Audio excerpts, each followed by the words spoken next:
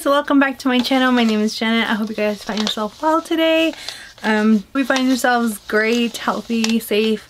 Um so today's video is going to be all about brands that I want to try in 2021 I have my little list here and I'm so excited to share what I will most likely be purchasing kind of brands that I might want to put a little bit more of a focus on um without overstepping my budget also.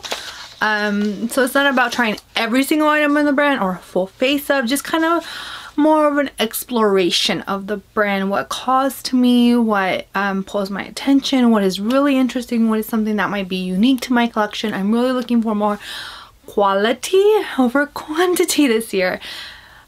I know like everything's been done, so I'm looking for ways more um, that are more innovative, more interesting, things that I don't have in my collection yet that bring some some level of uniqueness to my collection. Something that I don't already own.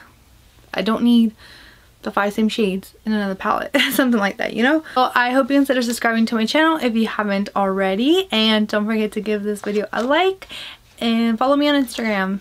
My handle will be down below and in the description box. Alrighty guys.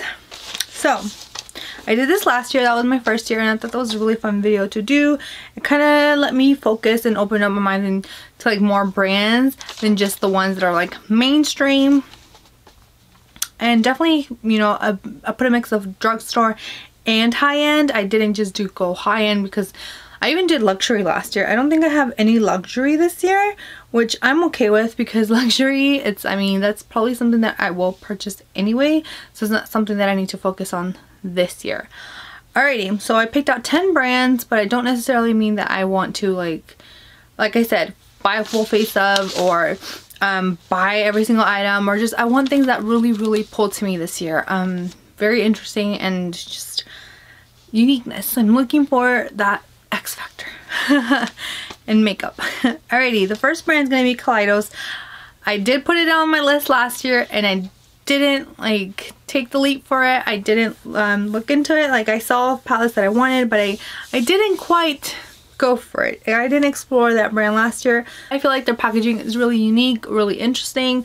Um, I like their color stories. They're very curated, very unique finishes within the small palettes. Um, and the blushes look really interesting too. They discontinued some, so they probably bring out hopefully this year.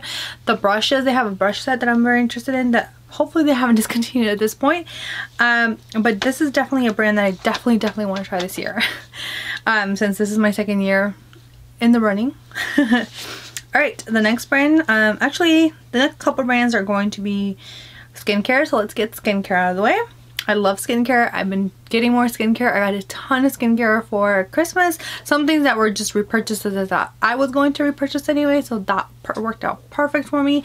And I did get some new ones. And I don't think I mentioned this, but I did want to do a no buy for um, January. And so far I've been actually really good about it. Very excited to try skincare. I've just been loving skincare. It's one of my really items, products that really pull to me. I am looking for the best of the best that works for my skin in every category. Um, I, d I don't necessarily need a 8, 10 step routine. I just want the best for what is my skin. But of course I'm going treading into it slowly. I don't want to upset my skin in any way.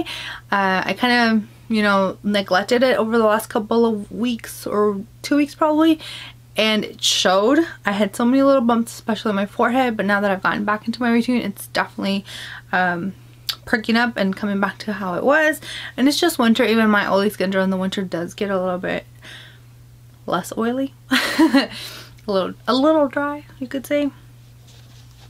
Alright, so I also have on the list The Ordinary. I really enjoy the fact that they are a really good skincare brand that I've heard reviews here and there, especially from Kelly Gooch and um, that the fact that they are like affordable I'm very interested in that. It's just something that really calls to me. They have a ton of things that I want to try, but we'll see what I actually end up purchasing and trying. Another brand I have on here is Good Molecules. Good Molecules is a brand that I have been looking at since last year. I think was it last year or in 2019 when it first came out.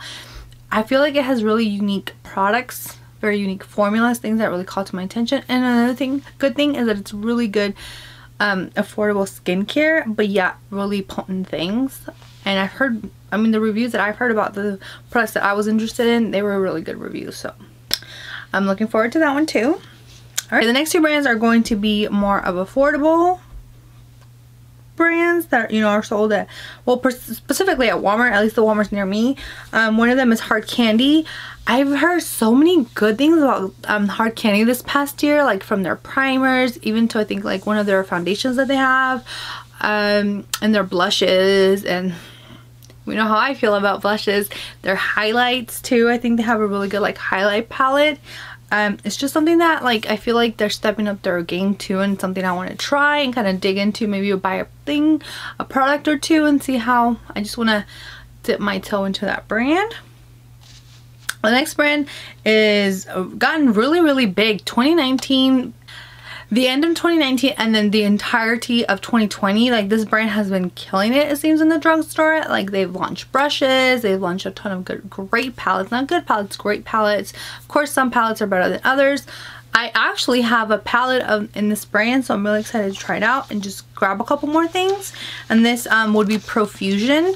Um, so I mean they have a ton of palettes with a ton of color stories. I was just actually in Walmart yesterday and my eyes went to the blushes. They have two um, blush palettes and they're so so beautiful. It looks like they have some with shimmers and some are matte maybe even satins. And then the other thing that really pulls to me are brushes. I love brushes. I mean I have like a whole container of brushes that I need to um, wash right now and I just haven't had a chance to. And it's just about to get crazier right now for my, in my life um, with school and everything. But I, I'm still interested in their brushes but we'll see what happens. And then their foundation too or skin serum or whatever they have their, what it's called it just looks really interesting. I haven't seen any reviews on it just because I kind of wanted to do a review on my own so I might stick with that. Um, it was like seven dollars so it's not a super expensive um, foundation or anything. Um, so yeah I'm excited about that. We'll see what happens. And then one other actual like more high-end brand actually the probably the only high-end brand on here is going to be Uoma Beauty. Uoma Beauty blew my mind with that foundation, you guys. Like, I loved their foundation. It is so good. I I missed the boat. I missed my chance to buy everything for like a discounted price for Black Friday. I chose to buy other things and I just I'm having makeup regrets, man. I'm having makeup regrets on that big time.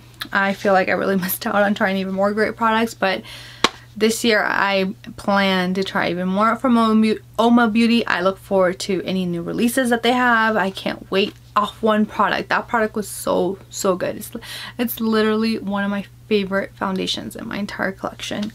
Um, so I can't even try wait to try the concealer. Concealer it's probably like bomb.com and their mascara too probably too. Probably everything. Hmm. but yeah if you have any recommendations from any of the brands that I've mentioned so far and that I will mention please let me know down in the comments. I would love some recommendations from you guys on to what to try or what's worth the money or what should I avoid. Let me know down below. Or if you have any brands also that you want me to try let me know. I'm not done yet but I just wanted to let you know before you know I forget. All right the next or the last four brands are actually um, so save for two I have tr tried their their eyeshadows but I really want to like deep dive into these brands this year because I feel like indie brands are having their moment. And I think that's amazing because what I've tried so far I can count on one hand what I've tried so far their eyeshadows blows my mind. Like the softness that I have in this look that I use and it'll be in a get ready with me is like this is exactly what I was going for when I envisioned this kind of look and I absolutely love the eyeshadows. They're so easy to work with and I, I went for halo eye but it's such a subtle soft ethereal like halo eye that it's just whew, love it. Um so anyways the first three that I've technically tried Devinah, Terra Moon, and Sydney Grace.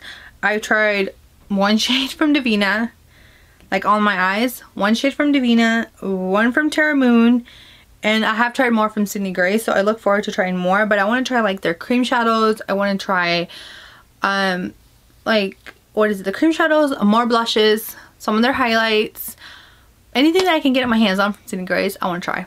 And then the last brand that I have on here that I haven't tried anything from is Black Moon Cosmetics. Um, that brand like calls me me attention my attention because they are grungy they are spooky they are dark they are delicious brand and it's just I love the colors that they have. They have such unique colors especially for the lipsticks and I just it just calls me those colors. They just they just call to my dark soul my vampy soul.